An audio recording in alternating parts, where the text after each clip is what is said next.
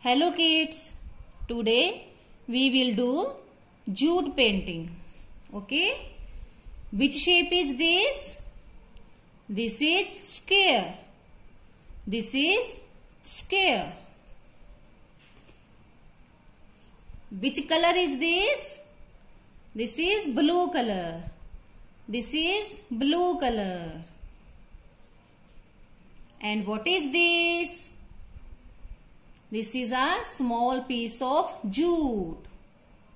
This is a small piece of jute. Okay. First of all,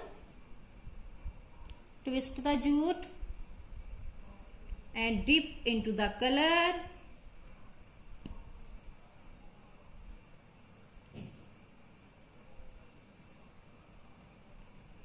and make impression in this square.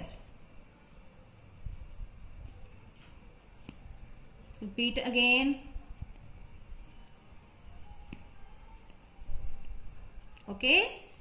Beautiful impressions are ready. Okay. Bye bye.